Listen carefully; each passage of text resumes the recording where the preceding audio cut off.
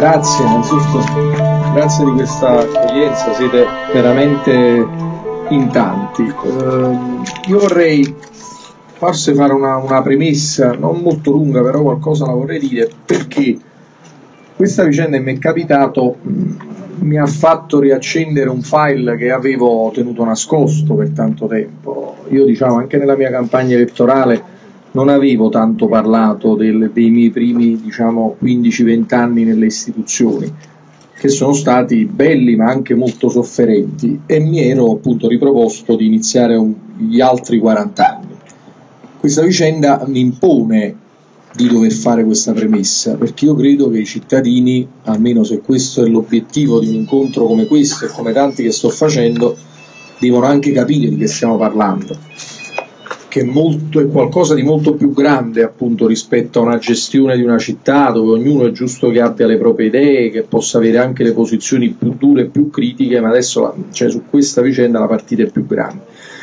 La prima cosa vorrei rispondere alla signora che prima mi diceva affettuosamente vinceremo o perderemo. Se io avessi fatto vent'anni fa queste valutazioni quando facevo il magistrato e mi trovavo di fronte a un fascicolo, che il fascicolo in genere per capire se ci sono reati gravi devi, devi scavare. E io mi rendevo conto che più scavavo, se facevo una valutazione di opportunismo mi conveniva non scavare, perché più scavavo peggio era, quindi io non le ho mai fatte. E poi un mio amico che è diventato amico nel periodo diciamo, in cui sono stato sotto attacco a Catanzaro, un magistrato siciliano di Catania, quando fui trasferito dal CSM per la vicenda nota, mi scrissi una cosa che non dimentico mai, che mi torna attuale, hai perso ma non ti sei perso, che è una frase secondo me molto bella. Quindi io credo che uno non deve perdere la strada anche se certe volte si hanno delle, delle sconfitte. Poi un altro invito, oh, io veramente sono tre anni, ma mi porto dietro anche le campagne di disinformazione e delegittimazione quando facevo il magistrato.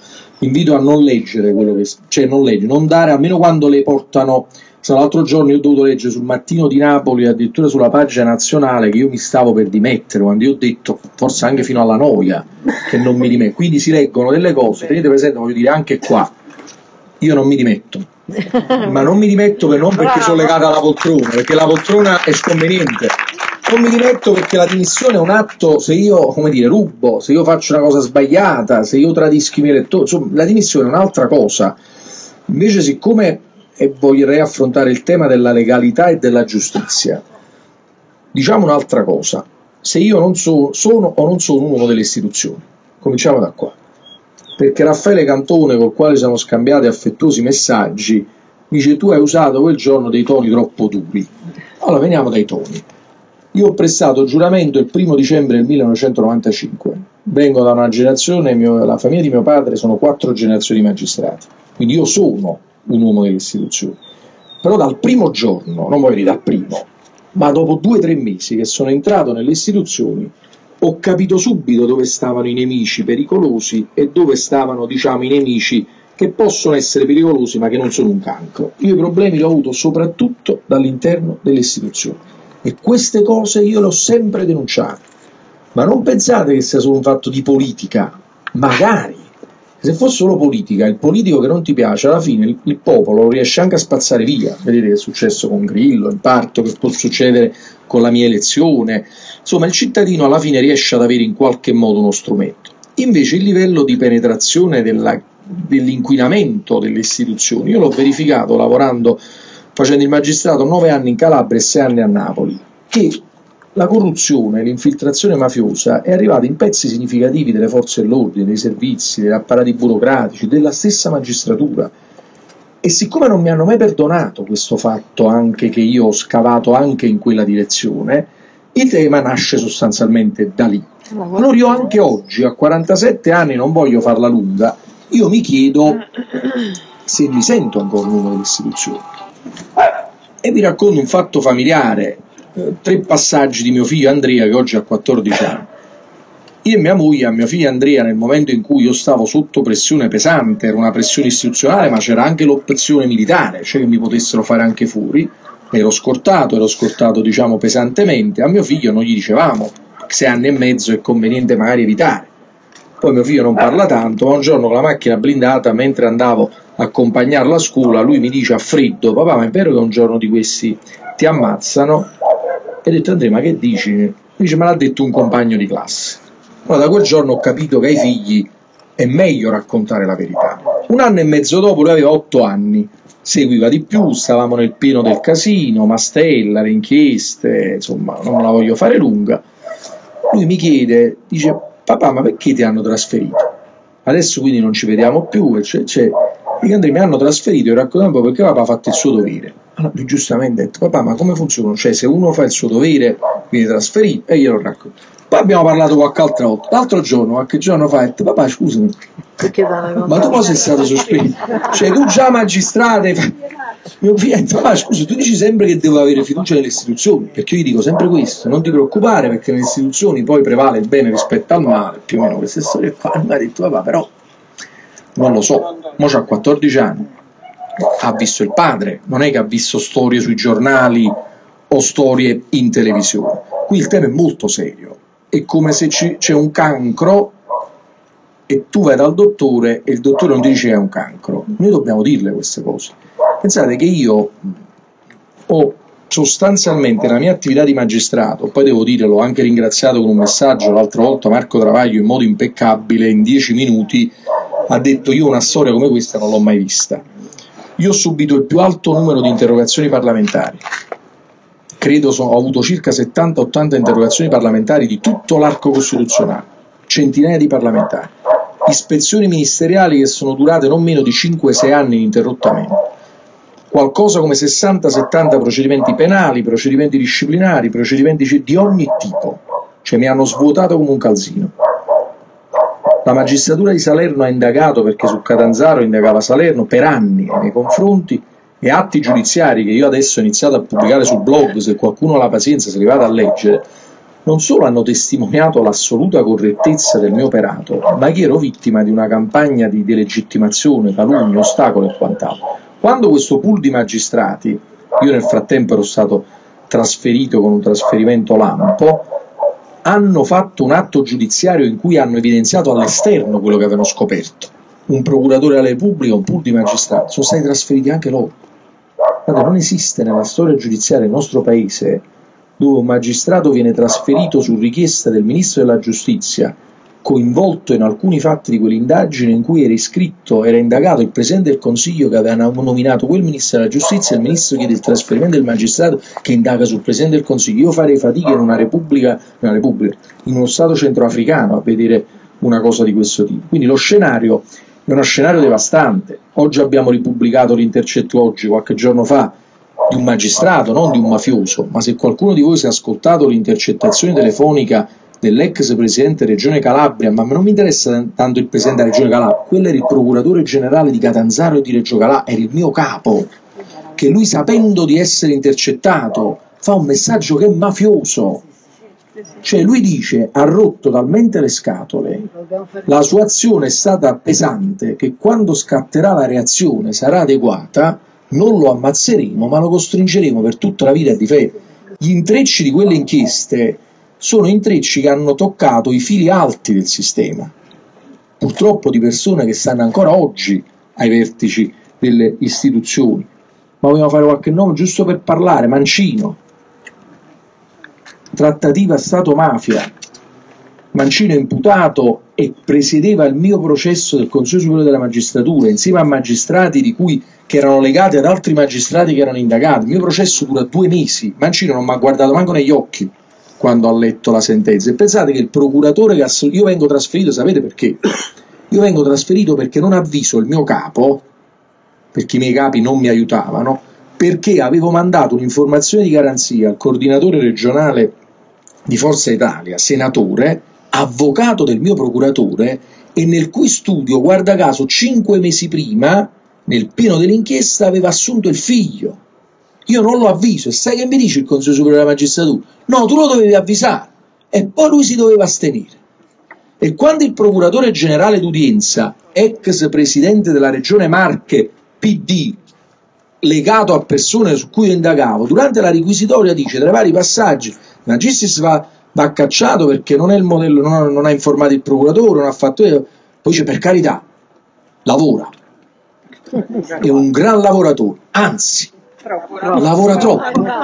Poi è testuale, cioè sono ah, lavoro, che interpreta il suo lavoro come una missione. Allora io mi giro davanti al mio avvocato, dice, Sandra ma si mette bene? Dice no no, si mette male. Cioè io vengo praticamente, viene sostenuto come fatto di disvalore da un magistrato della Repubblica che io lavoro troppo. Guardate, io mi viene di parlare perché io queste cose le avevo rimosse, però ovviamente quando poi ti prendi una condanna per abuso d'ufficio non patrimoniale su fatti già archiviati a Salerno, io vorrei dire questa cosa, Salerno fa 70 procedimenti penali, perché Salerno? Se c'è qualche giurista sa, se non ci sono giuristi o, o lo dico ai non giuristi, il codice di procedura penale, l'articolo 11 dice cioè che ogni distretto di corte d'appello ha precostituito per, per, legge come giudice naturale un altro distretto che indaga su quei magistrati. Per esempio sui magistrati di Napoli indaga Roma, sui magistrati di Catanzaro indagava Salerno. Solo un procedimento, guarda caso, viene mandato a Roma. Dopo che Salerno aveva dimostrato la mia correttezza e messo sotto processo i miei capi per corruzione in atti giudiziari, un processo che è ancora in corso, molto lungo, che dura da quattro anni, questo procedimento stranamente va a Roma perché individuano la sede di competenza a Roma, saltando l'articolo 11, perché è la sede del Parlamento. Il procedimento, il magistrato che trasmette gli atti a Roma è imputato per corruzione in atti giudiziari e guarda caso lo portano a un magistrato, io non la voglio fare lunga, però sono cose importanti, Achille Toro, coinvolto per fatti di corruzione nell'inchiesta su Bertolaso sul G8. Questo si prende e comincia l'indagine su di me. Allora, a me mi si contesta che io avrei preso delle utenze di parlamentari sapendo che quelle utenze sono di parlamentari. Allora, siccome facciamo l'ipotesi che io sono il, la più schifezza di magistrato della Repubblica Italiana, lo sanno tutti che i parlamentari hanno questo privilegio, possiamo essere d'accordo o non d'accordo, hanno il privilegio. Vi pare che se io so che mi devo prendere il tabulato suo, che parlamentare, lo faccio sapendo che chiaramente vengo, vengo scoperto, perché non è una prova che puoi mettere sotto al cassetto, prendo un tabulato evidentemente vuol dire che prima o poi lo dovrò usare quel tabulato, quindi qualcuno mi scoprirà e mi condannerà. È come dire uno che vuole andare a rubare la marmellata, chiama polizia, carabinieri guardia di finanza, dice guarda, alle 19 venga a rubare la marmellata alla Conad di via Belvedere, fatti trovare, così mi arrestate. Ed è una follia. Cioè quello praticamente è il mio consulente, un vicequestore della Polizia di Stato, che tra l'altro ha fatto anche stato tra le varie cose poliziotto che ha indagato anche sulle stragi di Capaci e ci sono dei collegamenti con la Sicilia. Questo mio consulente mi fa, dice guarda dottore, noi siamo entrati in, un, in una... noi stavamo praticamente, avevamo individuato in qualche modo una rete occulta che governava di fatto pezzi di istituzioni, ci eravamo scoperto che c'erano personaggi dello Stato istituzioni, uomini di governo, parlamentari, magistrati, uomini dei servizi, insomma, molti stanno ancora lì, che si riunivano in posti che non erano quelli delle istituzioni, prendevano le decisioni, poi andavano nelle istituzioni e le formalizzavano. Ecco perché poi arriverò nel concludere nel passaggio del rapporto tra legalità formale e giustizia. A un certo punto lui mi, un, mi dice noi abbiamo dei contatti di persone con l'associazione a delinquere su cui stiamo lavorando non sappiamo chi sono, dobbiamo andare a acquisire i tabulati. Quindi lui mi fa un elenco di utenze da acquisire, decine e decine e decine di utenze. Io da magistrato faccio il decreto, acquisiamo, lui va presso i gestori delle telefonie mobili, Team, Vodafone e altri, scopre che alcuni sono dei parlamentari, non era manco facile, perché in realtà erano interessati a prestanomi, per esempio quello di Prodi era interessato al Delta SPA, quindi non è che Delta SPA potevi sapere, come mi comunica che sono dei parlamentari, io mi fermo, attivo la richiesta di autorizzazione al Parlamento e l'inchiesta mi viene avvocata da Dolcino Faro. Quindi oggi vengo condannato perché mi si dice che io avrei dovuto sapere, non so in base a quali elementi, che quelle utenze erano di eh, parlamentari. Allora il tema legalità formale e giustizia è il dramma di un uomo delle istituzioni, perché nei miei confronti non hanno usato mai proiettili eh, come dire, militari, di fucili o di pistole, hanno usato proiettili istituzionali, perfettamente legali nella forma. Quando mi hanno trasferito, non è che mi hanno trasferito manu militari, hanno fatto un provvedimento disciplinare con tanto di carta da bollo. quando hanno trasferito, perché tutti quelli che hanno collaborato con me hanno tutti pagato, testimoni, ufficiali di polizia giudiziaria, tutti, addirittura quei pochi giornalisti, perché quella è un'altra categoria su cui bisognerebbe soffermarsi, quei pochi giornalisti coraggiosi hanno pagato pure loro, i magistrati di Salerno polverizzati, il procuratore della Repubblica di Salerno viene sospeso dalle funzioni e trasferito perché ha messo un visto su un provvedimento giudiziario che il pool dei magistrati di Salerno aveva emesso nei miei, nei miei riguardi. Quindi quando arriviamo, io potrei parlare fino a stanotte, ma vi, vi assicuro che non lo faccio, cioè quando arriviamo a questi livelli è chiaro che loro mi stanno, come dire, inseguendo da tempo. Poi questo si va a saltare ovviamente con l'attività di sindaco. Oggi io perché uh, di fronte a questa tragedia personale, che ovviamente è nulla rispetto a altre tragedie che magari sono molto più gravi, ma io la vivo come una tragedia personale, perché io ho vinto il concorso di magistratura, ho fatto 15 anni il magistrato, ho lavorato, mia moglie che sta qua lo sa, mai meno di 14-15 ore al giorno, non ho mai pensato che mi avessero dato una medaglia, mi, su, mi hanno strappato la toga di pubblico ministero, mi hanno trasferito, mi sono reinventato una nuova cosa, ho cercato di fare il sindaco e continuerò a fare il sindaco con lo stesso spirito di giustizia. Eh, e devo dire quello che, che l'effetto collaterale positivo di questa vicenda è che secondo me la maggior parte delle persone hanno capito il livello in cui ci siamo trovati.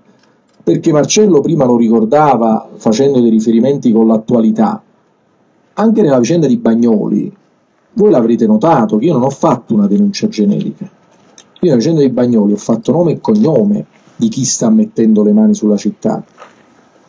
E l'atteggiamento di certa stampa nei miei confronti cambia quando io emetto sette mesi fa un'ordinanza con cui ordino a Fintecna. Chi è Fintecna? È Cassa Depositi e Prestiti. Chi è Cassa Depositi e Prestiti? Lo Stato. Cementir. Chi è Cementir? Caltagirone.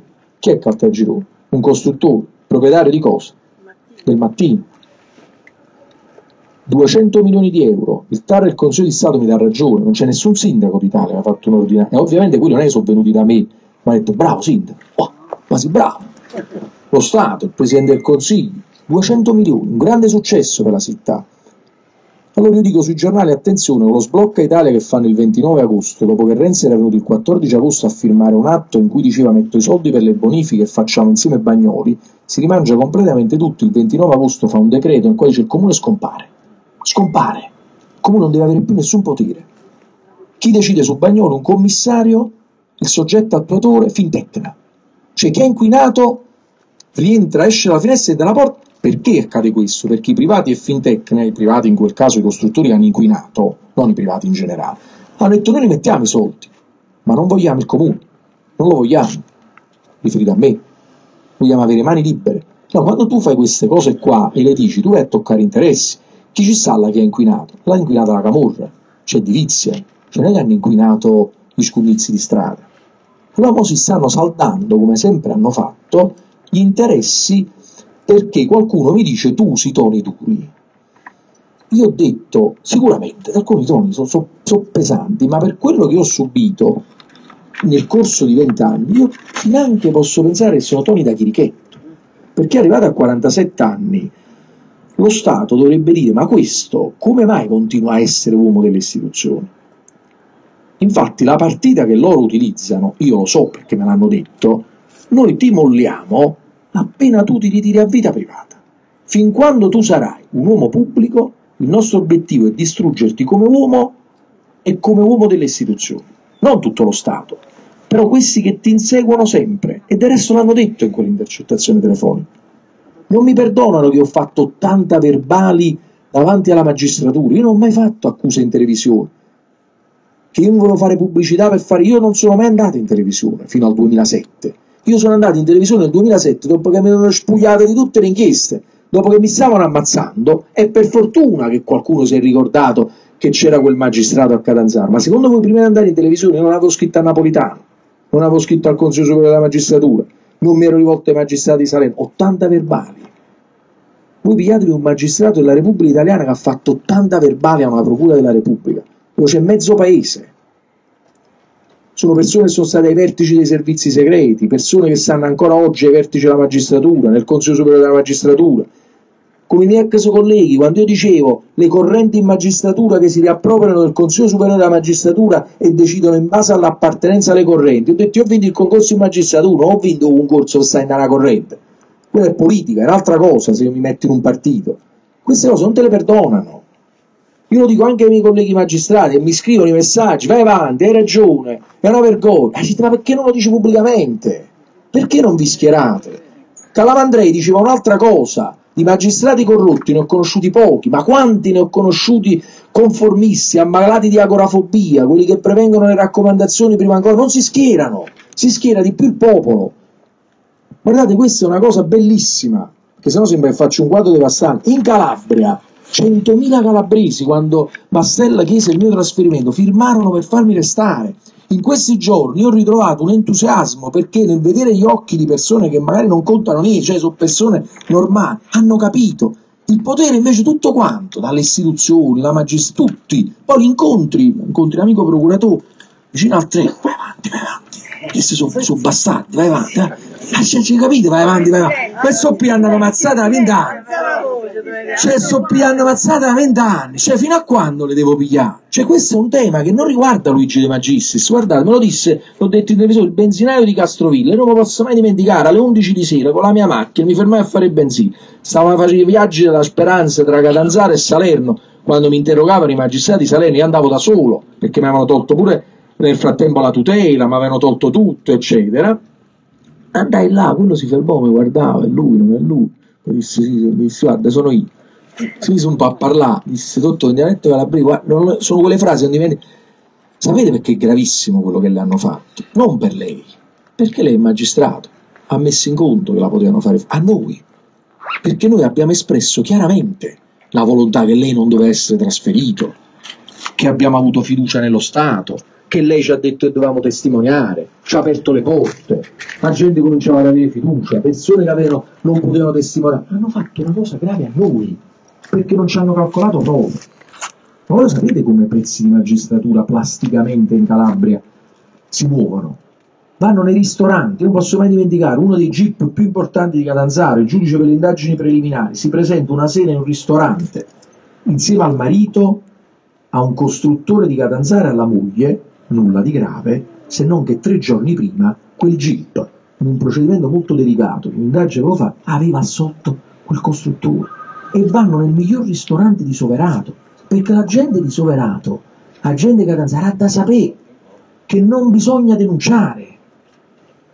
Il tema è che la magistratura in Calabria al 50% ha lavorato per farmi fuori, poi c'era un 20% onesta e nata fetta che non si schierava. Questo è il tema. Mi hanno trasferito a me perché non ho avvisato il procuratore della Repubblica che mandava un'informazione di garanzia al suo avvocato dove aveva assunto. Cioè, questo tema non è che la magistratura dopo anni ha fatto autocritica. Io c'è un'istanza là perché io spero sempre che prima o poi possano rivedere quel processo. Eh. Io sto in stanza là, io spero un domani, che ne so, io vorrei ritornare, magari ritornare in magistratura perché io ho vinto quel concorso e non ho fatto nulla di male. Allora perché io ho voluto fare, potrei continuare una premessa lunga?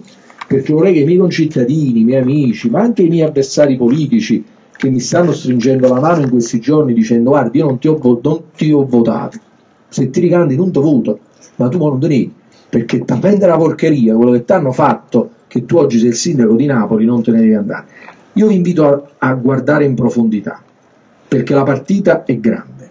Se vogliamo parlare dei problemi di Napoli, io tra l'altro adesso sarò sindaco no, di strada. No, voglio solo finire un attimo sulla gente. Sindaco di strada e ho deciso che anche se mi sospendono, se fanno la sospensiva della sospensione, continuerò a fare il sindaco di strada. Vorrei che si capisse questo. Da, tra un minuto possiamo parlare di tutti i problemi della città. Uh, e io sono molto contento di farlo, perché noi abbiamo avuto anche un problema di comunicazione e di incapacità nostra a comunicare tutto quello che abbiamo fatto. Però vorrei che si capisse un tema che a Napoli c'è un sindaco libero, oltre che persona per bene, e su questo sfido chiunque a dimostrare il contrario, libero E io credo che una città come Napoli, che abbia comunque un presidio di fronte a una persona che in questi tre anni ha subito ogni tipo di tentativo per cercare di inserirsi in una partita politica, magari anche prospettando il miglioramento della situazione, come dire, politica della città, ma io ho detto no perché sapevo perfettamente quali erano gli interessi.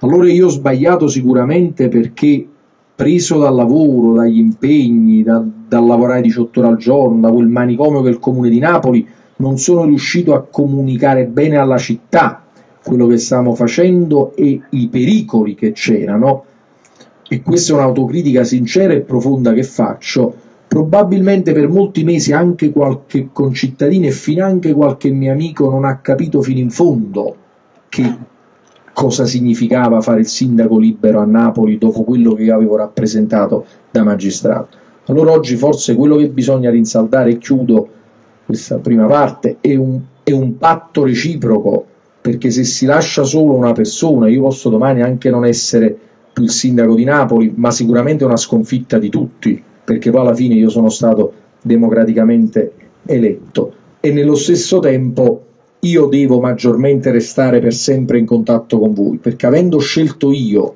di non fare legami con un certo tipo di potere, se io non rimango agganciato alla moltitudine delle persone per bene, è chiaro che diventa una sconfitta mia ma diventa anche una sconfitta delle persone che hanno creduto in me e che magari non riescono a comprendere o non si riesce a capire bene insieme come si può fare per rimanere uniti. In questi giorni, dalla rete di rapporti spontanei che sto creando come stasera, devo dire ho percepito che si sta comprendendo che la partita è una partita alta e che Napoli tra mille problemi, mille difetti e mille lacune rappresenta una tipicità in questo momento nel panorama nazionale, perché io sono un sindaco senza partiti, sto fuori dagli schemi nazionali, non sono isolato come qualcuno ha voluto far credere, perché ho cercato di creare rapporti, ma se per isolamento significa che faccio patti con chi vorrebbe fare delle cose su cui io non sono d'accordo, allora se parliamo in quel caso sono isolato, è un'esperienza sicuramente che può essere da stimolo per tanti giovani che un domani volessero insomma, candidarsi a fare il sindaco, cioè che si può fare anche rimanendo fuori dagli schemi di partito. Quindi il mio impegno che prenderò nei prossimi giorni e nei prossimi mesi fino alla fine del mio mandato è di stare di più per strada, raccontare meglio le cose che si fanno, ascoltare di più, sicuramente fare autocritica, ma anche far capire alla città quante cose in questi tre anni abbiamo fatto, probabilmente raccontare anche gli ostacoli che abbiamo avuto e raccontare meglio i difetti e le manchevolezze. E chiudo proprio su questo. I beni comuni, la democrazia partecipativa di cui parlava Marcello prima. Quello credo che sia stato uno dei principali difetti che noi abbiamo. Non siamo riusciti a creare quel, quel rapporto forte di compartecipazione con i nostri concittadini. Lo doveva fare Alberto Lucarelli, io me ne sono disinteressato perché mi sono occupato di altro. Forse il modo migliore per continuare l'esperienza di sindaco di strada è quello di farmi io portatore nei prossimi mesi di tutto questo, sia con le municipalità ma anche direttamente con i cittadini. E a me fa piacere se voi nelle prossime settimane abbiate la voglia, tra i mille impegni che tenete, a farvi un'idea un po' più approfondita di quella che è stata la mia esperienza di magistrato e probabilmente collegarla a tanti fatti che stanno avvenendo nel nostro paese in questi mesi e quello che sta avvenendo anche nella città di Napoli, perché il tema è tutto interno alle istituzioni. Io credo che sia un fatto necessario che, che i cittadini più interessati e sensibili lo facciano perché altrimenti se si rimane alla superficie della vulgata dei giornali e dell'informazione non si comprende sostanzialmente nulla. Se si leggono quelle carte ognuno si potrà fare un libero convincimento e capirà probabilmente qual è la partita che si sta giocando nel paese e in particolare a Napoli in questo, in questo periodo. No, la domanda era La domanda era abbastanza semplice, basta le mie non mi interessa sapere, sì, sì, tranquilla, sì, no, guarda.